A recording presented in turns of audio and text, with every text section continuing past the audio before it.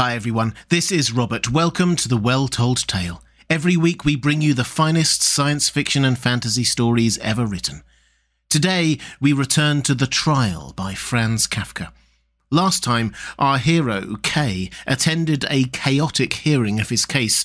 Not that he even still knows what he is accused of. He stormed out, and now he doesn't know what to do. Is it all over, or will the investigation into him continue? It's time to pull up a chair relax and enjoy part three of The Trial by Franz Kafka. Chapter 3 Every day over the following week, Kay expected another summons to arrive. He could not believe that his rejection of any more hearings had been taken literally, and when the expected summons really had not come by Saturday evening, he took it to mean that he was expected, without being told, to appear at the same place at the same time. So on Sunday, he set out once more in the same direction, going without hesitation up the steps and through the corridors. Some of the people remembered him and greeted him from their doorways, but he no longer needed to ask anyone the way, and soon arrived at the right door. It was opened as soon as he knocked, and paying no attention to the woman he had seen last time, who was standing at the doorway, he was about to go straight into the adjoining room when she said to him, There's no session today. What do you mean, no session? he asked, unable to believe it. But the woman persuaded him by opening the door to the next room. It was indeed empty, and looked even more dismal empty than it had on the previous Sunday. On the podium stood the table exactly as it had been before, with a few books laying on it. Can I have a look at those books? asked Kay, not because he was especially curious, but so that he would not have come for nothing. No, said the woman as she reclosed the door. That's not allowed. Those books belong to the examining judge. I see, said Kay, and nodded. Those books must be law books, and that's how this court does things, not only to try people who are innocent, but even to try them without letting them know what's going on. I expect you're right, said the woman, who had not understood exactly what he meant. I'd better go away, then, said Kay. Should I give a message to the examining judge? asked the woman.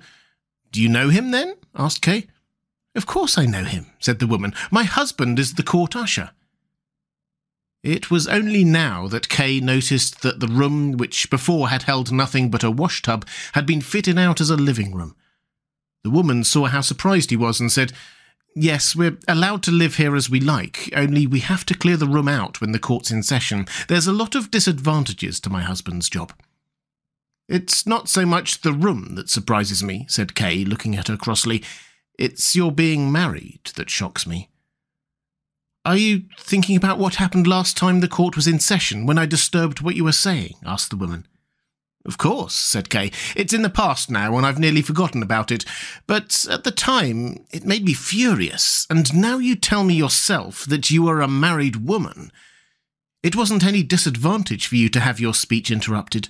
The way they talked about you after you had gone was really bad. That could well be, said Kay, turning away, but it does not excuse you. There's no one I know who'd hold it against me, said the woman. Him who put his arms around me. He's been chasing after me for a long time. I might not be very attractive for most people, but I am for him. I've got no protection from him. Even my husband has had to get used to it.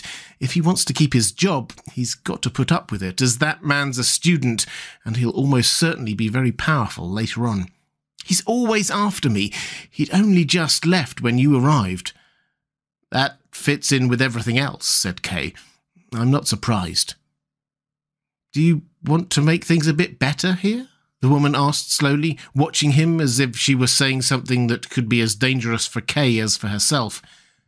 That's what I thought when I heard you speak. I really liked what you said. Mind you, I only heard part of it. I missed the beginning of it, and at the end I was lying on the floor with the student. It's so horrible here, she said after a pause, and took hold of Kay's hand. Do you believe you really will be able to make things better? Kay smiled and twisted his hand around a little in her soft hands. It's not really my job to make things better here, as you put it, he said, and if you said that to the examining judge, he would laugh at you or punish you for it. I really would not have become involved in this matter if I could have helped it, and I would have lost no sleep worrying about how this court needs to be made better. But because I'm told that I've been arrested, and I am under arrest, it forces me to take some action, and to do so for my own sake. However, if I can be of some service to you in the process, I will of course be glad to do so. And I will be glad to do so not only for the sake of charity, but also because you can be of some help to me. How could I help you then? said the woman. You could, for example, show me the books on the table there. Oh, yes, certainly, the woman cried, and pulled Kay along behind her as she rushed to them.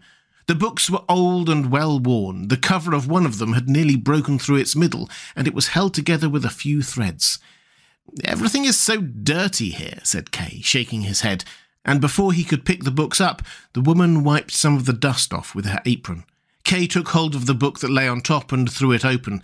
An indecent picture appeared. A man and a woman sat naked on a sofa. The base intent of whoever drew it was easy to see, but he had been so grossly lacking in skill that all that anyone could really make out were the man and the woman who dominated the picture with their bodies, sitting in overly upright postures that created a false perspective and made it difficult for them to approach each other. Kay didn't thumb through that book any more, but just threw open the next one at its title page. It was a novel with the title what Greta suffered from her husband Hans. So, this is the sort of law book they study here, said Kay. This is the sort of person sitting in judgment over me. I can help you, said the woman. Would you like me to? Could you really do that without placing yourself in danger? You did say earlier on that your husband is wholly dependent on his superiors. I still want to help you, said the woman, Come over here. We've got to talk about it. Don't say any more about what danger I'm in. I only fear danger where I want to fear it. Come over here. She pointed to the podium and invited him to sit down on the step with her. You've got lovely dark eyes, she said after they had sat down, looking up into Kay's face. People say I've got nice eyes too, but yours are much nicer. It was the first thing I noticed when he first came here. That's even why I came in here, into the assembly room afterwards. I'd never normally do that. I'm not really even allowed to. So that's what all this is about, thought Kay. She's offering herself to me. She's as degenerate as everything else around here. She's had enough of the court officials, which is understandable, I suppose, and so she approaches any stranger and makes compliments about his eyes. With that, Kay stood up in silence, as if he had spoken his thoughts out loud and thus explained his action to the woman. I don't think you can be of any assistance to me, he said. To be of any real assistance, you would need to be in contact with high officials, but I'm sure you only know the lower employees. There are crowds of them milling about here. I'm sure you're very familiar with them and could achieve a great deal through them. I've no doubt of that. But the most that could be done through them would have no bearing at all on the final outcome of the trial. You, on the other hand, would lose some of your friends as a result, and I have no wish of that. Carry on with these people in the same way as you have been, as it does not seem to be something you cannot do without. I have no regrets in saying this, as, in return for your compliment to me, I also find you rather attractive, especially when you look at me as sadly as you are now although you really have no reason to do so. You belong to the people I have to combat, and you're very comfortable among them. You're even in love with the student, or if you don't love him, you do at least prefer him to your husband. It's easy to see that from what you've been saying. No, she shouted, remained seated where she was and grasped Kay's hand, which he failed to pull away fast enough. You can't go away now. You can't go away when you've misjudged me like that. Are you really capable of going away now? Am I really so worthless that you won't even do me the favour of staying a little bit longer? You misunderstand me, said Kay, sitting back down. If it's really important to you for me to stay here, then I'll be glad to do so. I have plenty of time. I came here thinking there would be a trial taking place. All I meant with what I said just now was to ask you not to do anything on my behalf in the proceedings against me, but even that is nothing for you to worry about when you consider that there is nothing hanging on the outcome of this trial, and that whatever the verdict, I will just laugh at it. And that's even presupposing it ever reaches any conclusion, which I very much doubt. I think it's much more likely that the court officials will be too lazy, too forgetful, or even too fearful ever to continue with these proceedings, and that they will soon be abandoned if they haven't been abandoned already. It's even possible that they will pretend to be carrying on with the trial in the hope of receiving a large bribe, although I can tell you now that that will be quite in vain as I pay bribes to no one. Perhaps one favour you could do me would be to tell the examining judge or anyone else who likes to spread important news that I will never be induced to pay any sort of bribe through any stratagem of theirs. And I'm sure they have many stratagems at their disposal. There is no prospect of that. You can tell them quite openly. And what's more, I expect they have already noticed themselves, or even if they haven't, this affair is really not so important to me as they think. Those gentlemen would only save some work for themselves, or at least some unpleasantness for me, which, however, I am glad to endure if I know that each piece of unpleasantness for me is a blow against them, and I will make quite sure it is a blow against them. Uh, do you actually know the judge? Course I do, said the woman. He was the first one I thought of when I offered to help you. I didn't know he's only a minor official, but if you say so, it must be true. Mind you, I still think the report he gives to his superiors must have some influence. And he writes so many reports. You say these officials are lazy, but they're certainly not all lazy, especially this examining judge. He writes ever such a lot. Last Sunday, for instance, that session went on till the evening. Everyone had gone, but the examining judge, he stayed in the hall. I had to bring him a lamp. All I had was a little kitchen lamp, but he was very satisfied with it and started to write straight away. Meantime, my husband arrived. He always has the day off on Sundays. We got the furniture back in and got our room sorted out, and then a few of the neighbours came. We sat and talked for a bit by candle. In short, we forgot all about the examining judge and went to bed. All of a sudden, in the night, it must have been quite late in the night, I wake up. Next to the bed, there's the examining judge, shading the lamp with his hand so no light falls from it to my husband. He didn't need to be so careful as that. The way my husband sleeps, the light wouldn't have woken him up anyway. I was quite shocked and nearly screamed, but the judge was very friendly. He warned me I should be careful. He whispered to me, He's been writing all this time, and now he's brought me the lamp back and he'll never forget how I looked when he found me there asleep. What I mean with all this, I just wanted to tell you how the examining judge really does write lots of reports, especially about you, as questioning you was definitely one of the main things on the agenda that Sunday. If he writes reports as long as that, they must be of some importance. And besides all that, you can see from what happened that the examining judge is after me and it's right now, when he's first begun to notice me, that I can have a lot of influence on him. And I've got other proof I mean a lot to him too. Yesterday, he sent that student to me, the one he really trusts and who he works with. He sent him with a present for me silk stockings. He said it was because I clear up in the courtroom, but that's only a pretense. That job's no more than what I'm supposed to do. It's what my husband gets paid for. Nice stockings they are.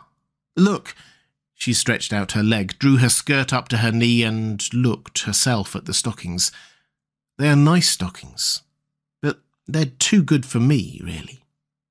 She suddenly interrupted herself and lay her hand on Kay's as if she wanted to calm him down, and whispered, Be quiet. Berthold is watching us. Kay slowly looked up. In the doorway to the courtroom stood a young man. He was short, his legs were not quite straight, and he continually moved his finger round in a short, thin red beard with which he hoped to make himself look dignified. Kay looked at him with some curiosity. He was the first student he had ever met of the unfamiliar discipline of jurisprudence, face to face at least, a man who would even most likely attain high office one day. The student, in contrast, seemed to take no notice of Kay at all. He merely withdrew his finger from his beard long enough to beckon to the woman and went over to the window. The woman leant over to Kay and whispered, Don't be cross with me. Please don't. And please don't think ill of me either. I've got to go to him now, to this horrible man. Just look at his bent legs. But I'll come straight back. And then I'll go with you if you'll take me. I'll go wherever you want. You can do whatever you like with me. I'll be happy if I can be away from here for as long as possible. It'd be best if I could get away from here for good. She stroked Kay's hand once more, jumped up and ran over to the window.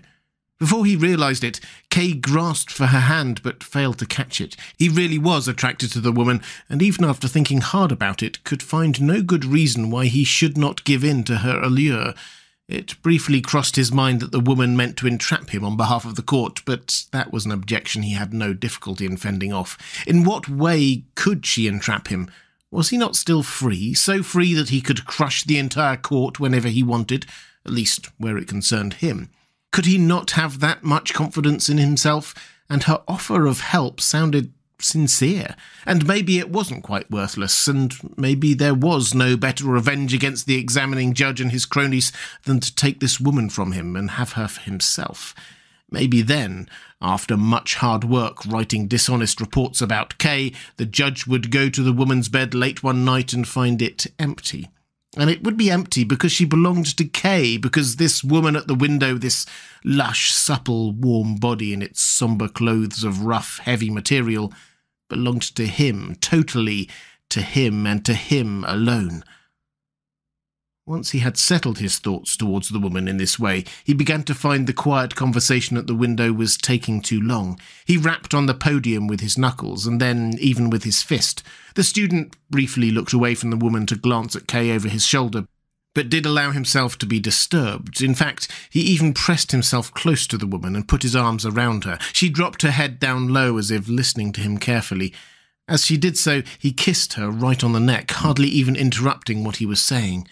Kay saw this as confirmation of the tyranny the student held over the woman, and which he had already complained about. He stood up and walked up and down the room, glancing sideways at the student.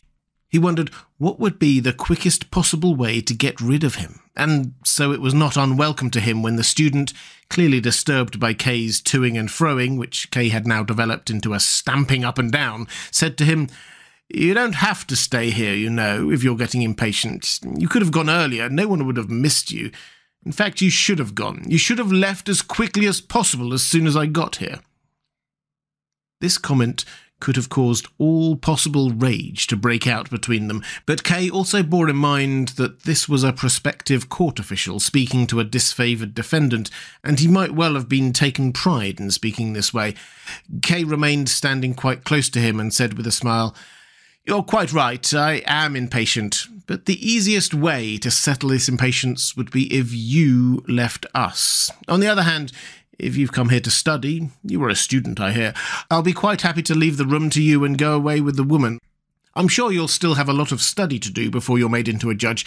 It's true that I'm still not all that familiar with your branch of jurisprudence, but I take it it involves a lot more than speaking roughly and I see you have no shame in doing that extremely well. He shouldn't have been allowed to move about so freely, said the student, as if he wanted to give the woman an explanation for Kay's insults. That was a mistake. I've told the examining judge so. He should at least have been detained in his room between hearings. Sometimes it's impossible to understand what the judge thinks he's doing. You're wasting your breath, said Kay. Then he reached his hand out towards the woman and said, Come with me. Oh, so that's it, said the student. Oh, no, you're not going to get her. And with a strength you would not have expected from him, he glanced tenderly at her, lifted her up on one arm, his back bent under the weight, and ran with her to the door. In this way he showed unmistakably that he was to some extent afraid of Kay, but he nonetheless dared to provoke him still further by stroking and squeezing the woman's arm with his free hand. Kay ran the few steps up to him, but when he had reached him and was about to take hold of him, and if necessary throttle him, the woman said, It's no good. It's no good. It's the examining judge who sent for me. I daren't go with you. This little bastard. Here she ran her hand over the student's face. This little bastard won't let me. And you don't want to be set free? shouted Kay, laying his hand on the student's shoulder, who then snapped at it with his teeth. No! shouted the woman, pushing Kay away with both hands. No, no, don't do that. What do you think you're doing? That'll be the end of me. Let go of him. Please, just Let go of him. He's only carrying out the judge's orders. He's carrying me to him. Let him take you then, and I want to see nothing more of you, said Kay, enraged by his disappointment and giving the student a thump in the back so that he briefly stumbled, and then, glad that he had not fallen, immediately jumped up all the higher with his burden. Kay followed them slowly. He realized that this was the first unambiguous setback he had suffered from these people. It was, of course, nothing to worry about. He accepted the setback only because he was looking for a fight. If he stayed at home and carried on with his normal life, he would be a thousand times superior to these people and could get any of them out of his way just with a kick. And he imagined the most laughable scene, possibly as an example of this, if this contemptible student, this inflated child, this knock-kneed Redbeard, if he were kneeling at Elsa's bed, wringing his hands and begging for forgiveness. Kay so enjoyed imagining this scene that he decided to take the student along to Elsa with him if he ever should get the opportunity. Kay was curious to see where the woman would be taken, and he hurried over to the door. The student was not likely to carry her through the streets on his arm. It turned out that the journey was far shorter. Directly opposite the flat, there was a narrow flight of wooden steps, which probably led up to the attic. They turned as they went so that it was not possible to see where they ended. The student carried the woman up these steps, and after the exertions of running with her, he was soon groaning and moving very slowly. The woman waved down at Kay, and by raising and lowering her shoulders, she tried to show that she was an innocent party in this abduction, although the gesture did not show a lot of regret. Kay watched her without expression, like a stranger. He wanted to show neither that he was disappointed, nor that he would easily get over his disappointment. The two of them had disappeared but Kay remained standing in the doorway. He had to accept that the woman had not only cheated him, but that she had also lied to him when she said she was being taken to the examining judge. The examining judge certainly wouldn't be sitting and waiting in the attic. The wooden stairs would explain nothing to him, however long he stared at them. Then Kay noticed a small piece of paper next to them, went across to it, and read in a childish and unpractised hand, Entrance to the court offices. Were the court offices here, in the attic of this tenement, then?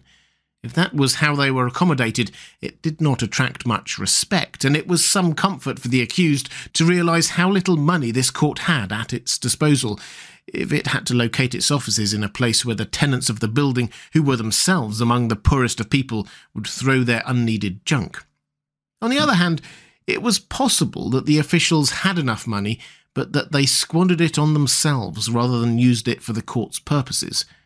Going by Kay's experience of them so far, that even seemed probable, except that if the court were allowed to decay in that way, it would not just humiliate the accused, but also give him more encouragement than if the court was simply in a state of poverty. Kay also now understood that the court was ashamed to summon those it accused to the attic of this building for the initial hearing, and why it preferred to impose upon them in their own homes. What a position it was that Kay found himself in, compared with the judge sitting up in the attic. Kay at the bank had a big office with an anteroom and had an enormous window through which he could look down at the activity in his square. It was true, though, that he had no secondary income from bribes and fraud, and he couldn't tell a servant to bring him a woman up to the office on his arm. Kay, however, was quite willing to do without such things, in this life at least. Kay was still looking at the notice when a man came up the stairs, looked through the open door into the living room, where it was also possible to see the courtroom, and finally asked Kay whether he had just seen a woman there.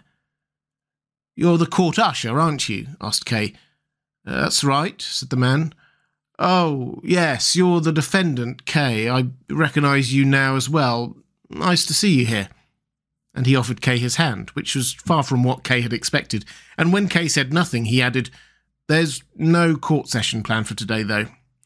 I know that, said Kay, as he looked at the usher's civilian coat, which, beside its ordinary buttons, displayed two gilded ones as the only sign of his office, and seemed to have been taken from an old army officer's coat. I was speaking with your wife a little while ago. She's no longer here. The student has carried her off to the examining judge. Uh, listen to this, said the usher. They're always carrying her away from me. It's Sunday today, and it's not part of my job to do any work today. But they sent me off with some message which isn't even necessary just to get me away from here. What they do is they send me off not too far away so that I can still hope to get back on time if I really hurry. So I go running off as fast as I can, shout the message through the crack of the door of the office I've been sent to, so out of breath they'll hardly be able to understand it, run back here again. But the student's been even faster than I have. Well, he's got less far to go. He's only got to run down the steps.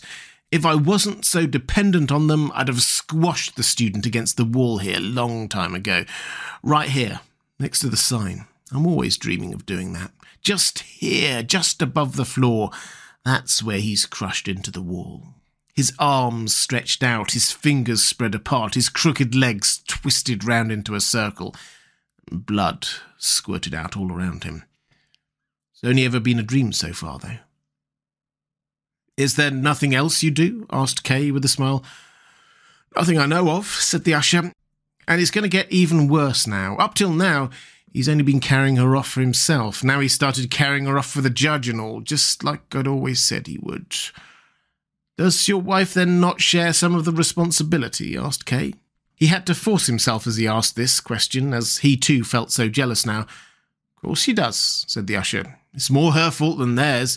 It was her who attached herself to him. All he did, he just chases after any woman. There's five flats in this block alone where he's been thrown out after working his way in there, and my wife is the best looking woman in the whole building. But it's me who's not even allowed to defend himself. If that's how things are, then there's nothing that can be done, said Kay. Why not? said the usher. He's a coward.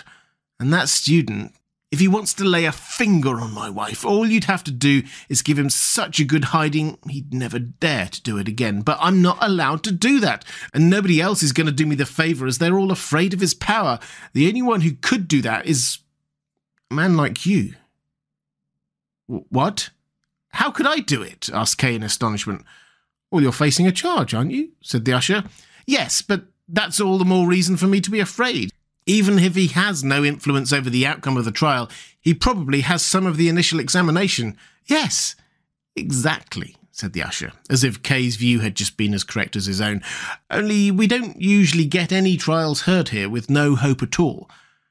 I am not of the same opinion, said Kay, although that ought not to prevent me from dealing with the student if the opportunity arises. I would be very grateful to you, said the usher of the court, somewhat formally, not really seeming to believe that his highest wish could be fulfilled.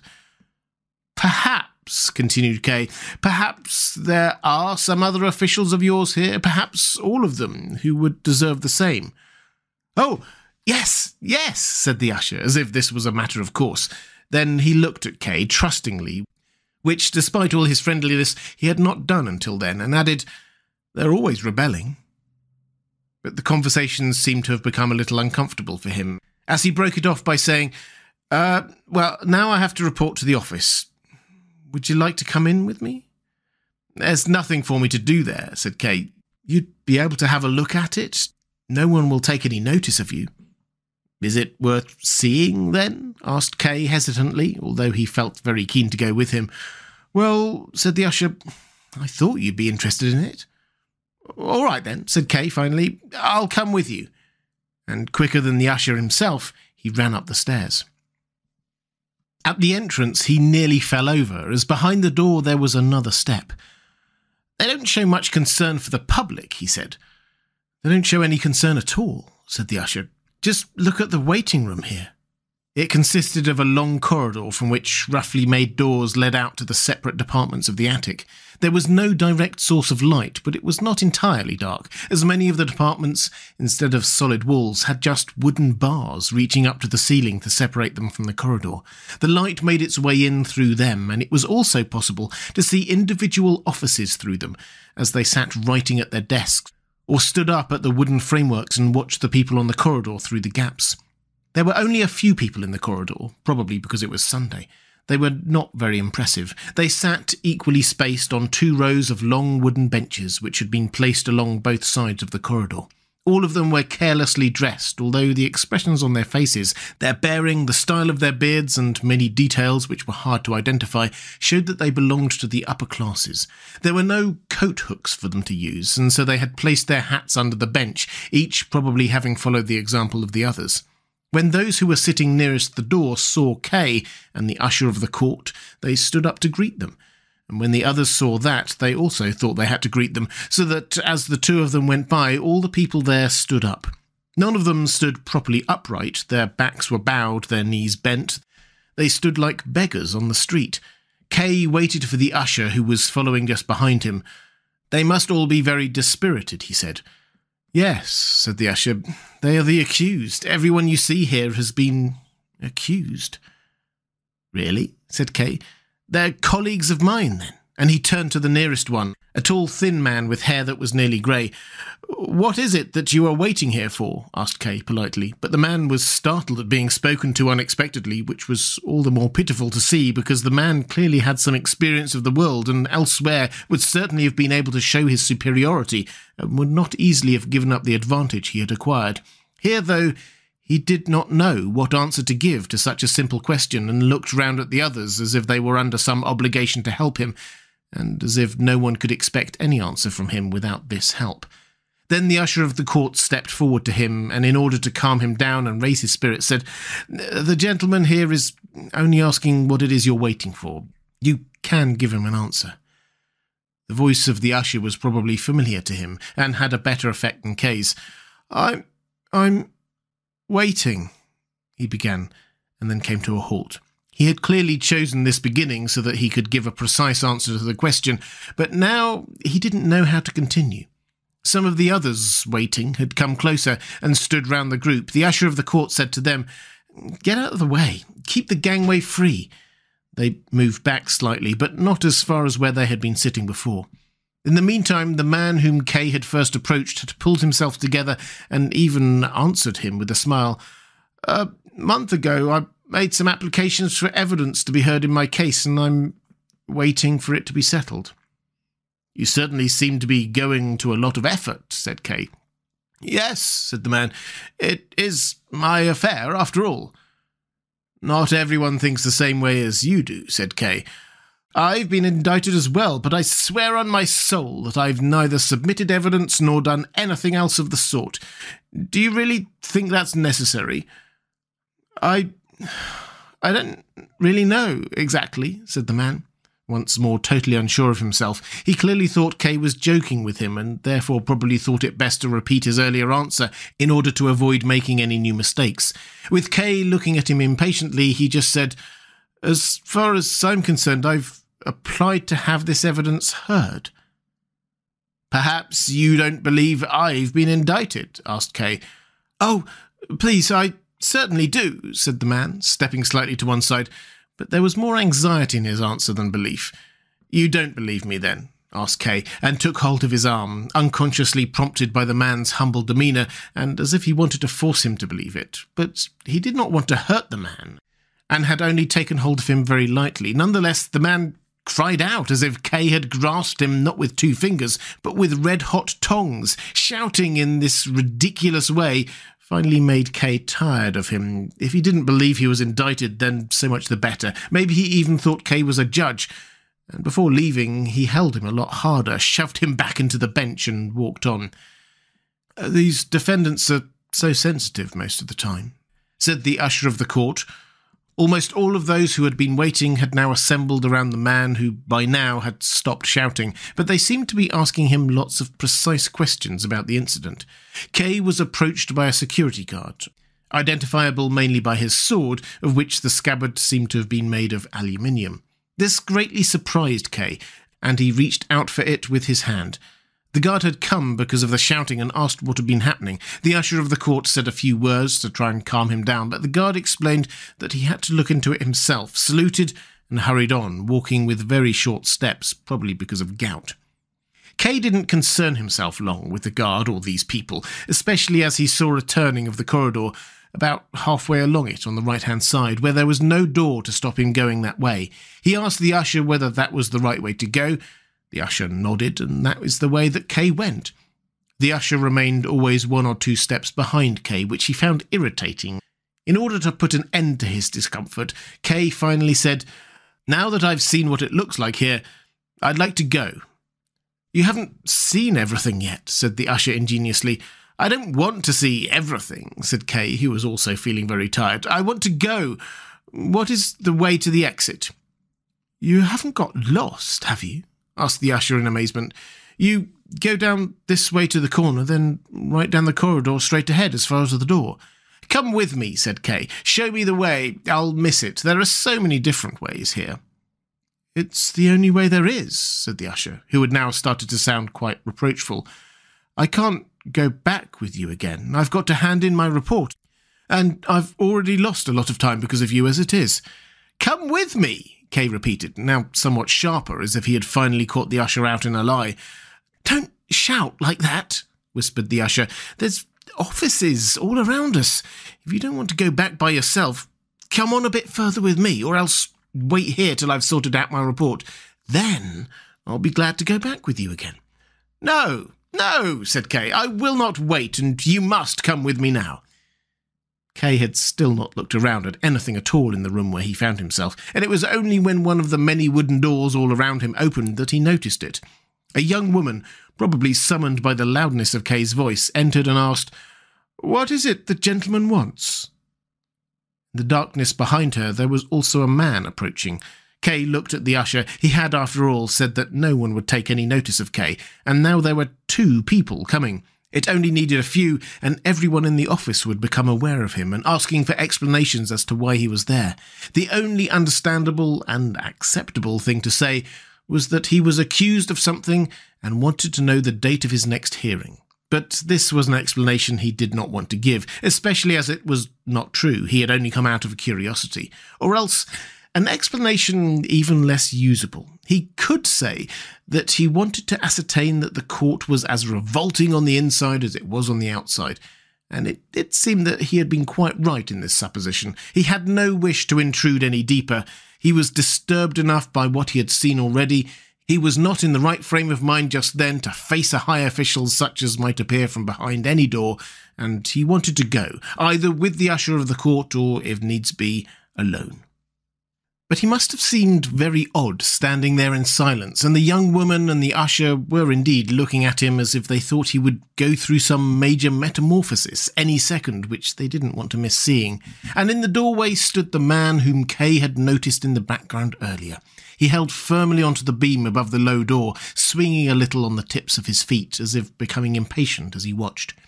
But the young woman was the first to recognize that Kay's behavior was caused by his feeling slightly unwell. She brought a chair and asked, Would you not like to sit down? Kay sat down immediately, and in order to keep his place better, put his elbows on the armrests.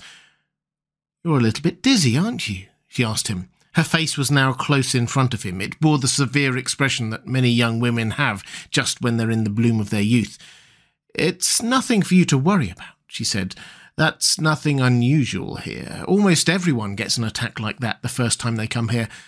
This is your first time, isn't it? Yes, it's nothing unusual then. The sun burns down on the roof, and the hot wood makes the air so thick and heavy it makes this place rather unsuitable for offices. Whatever other advantages it might offer, but the air is almost impossible to breathe on days when there's a lot of business, and that's almost every day.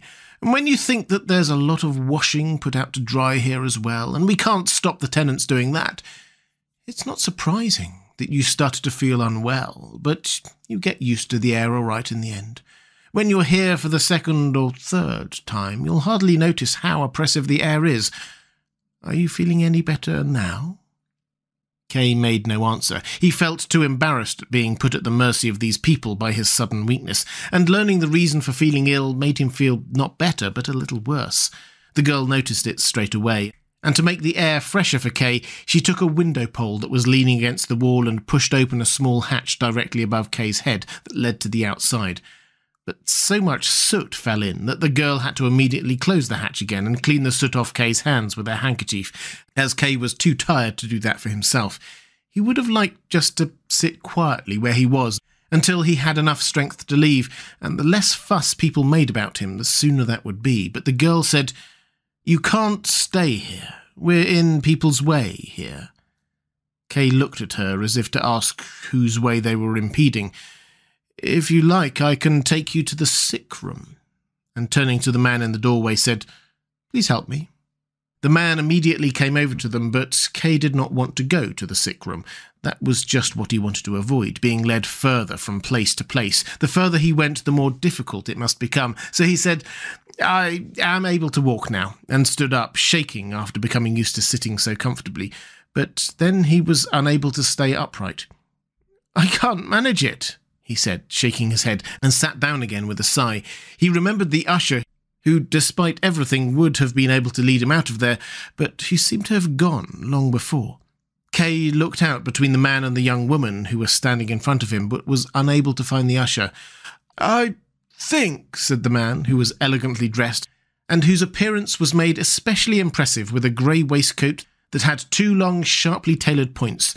The gentleman is feeling unwell because of the atmosphere here, so the best thing and what he would most prefer would be not to take him to the sick room, but to get him out of the offices altogether.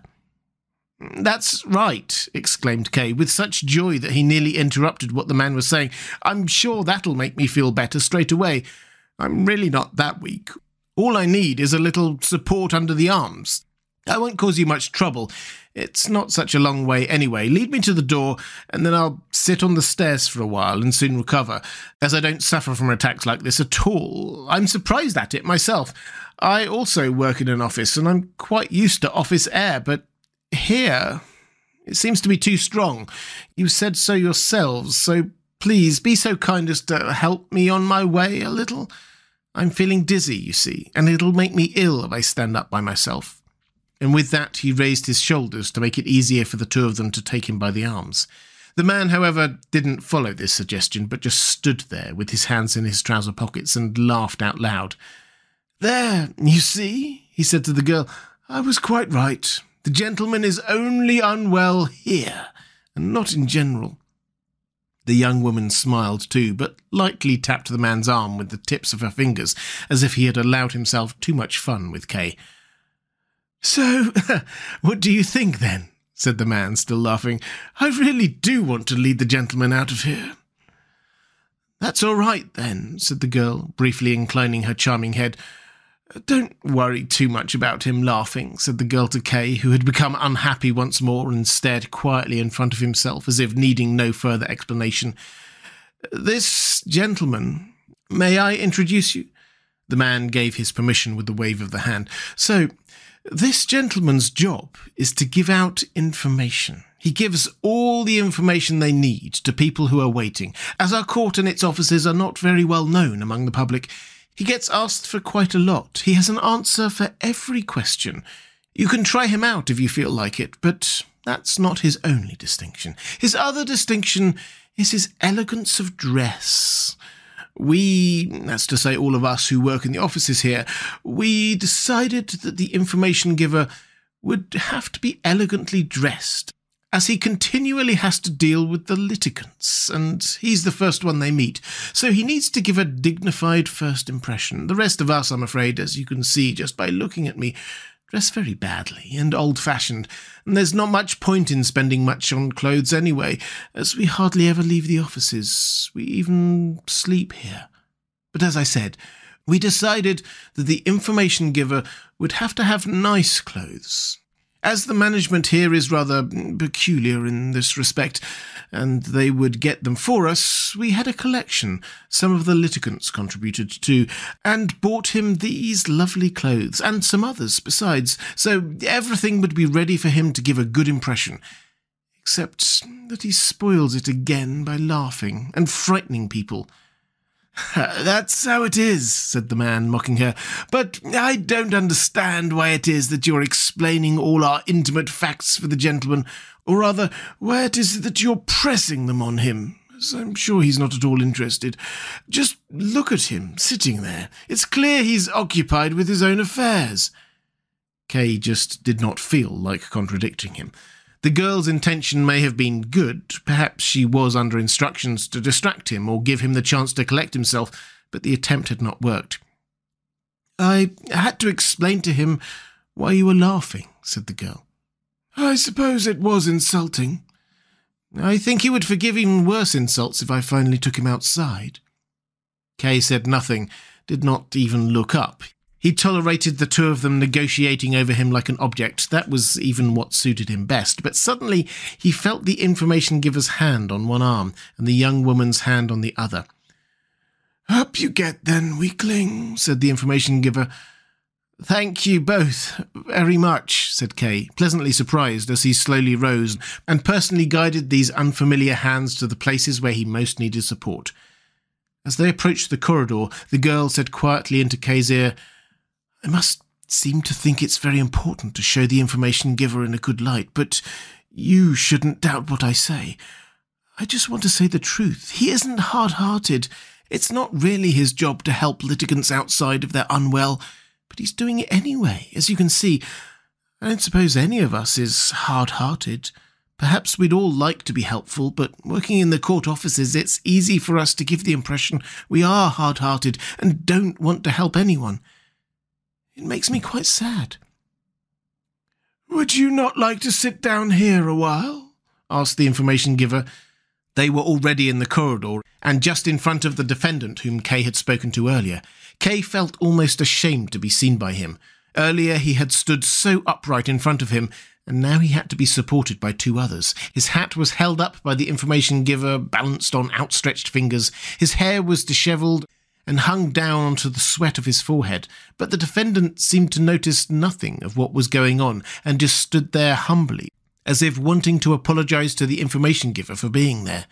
The information giver looked past him.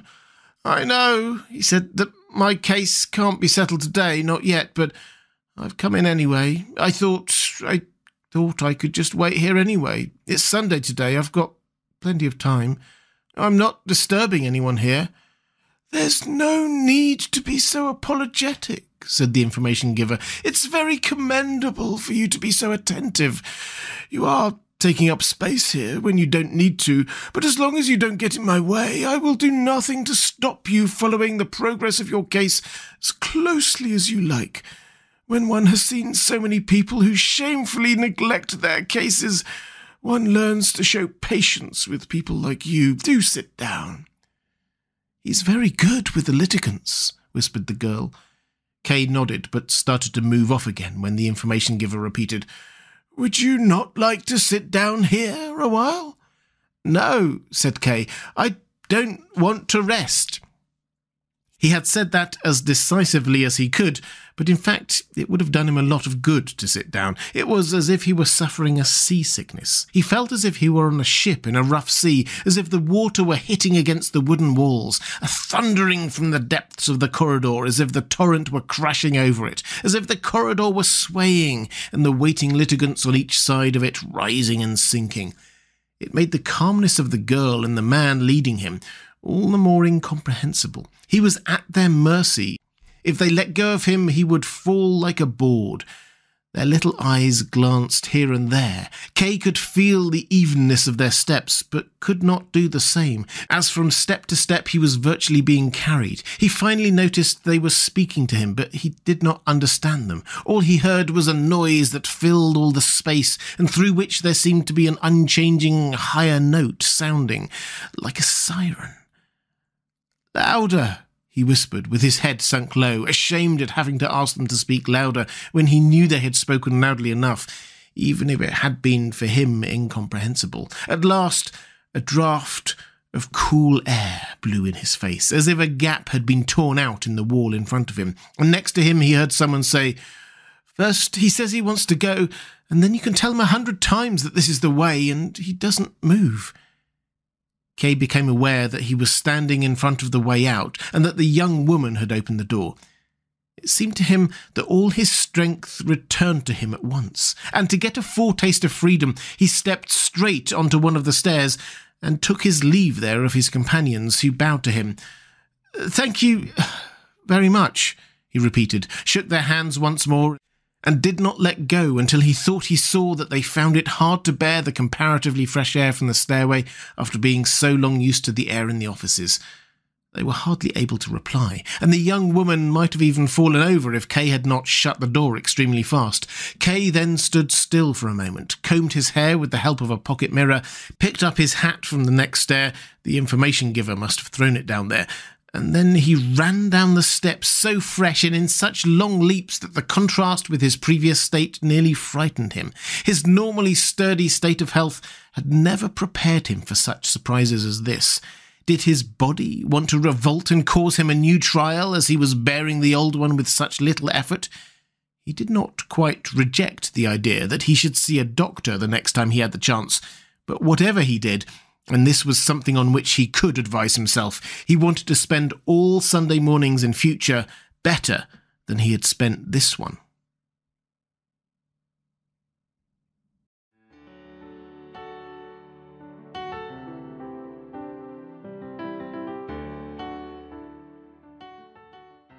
And welcome back.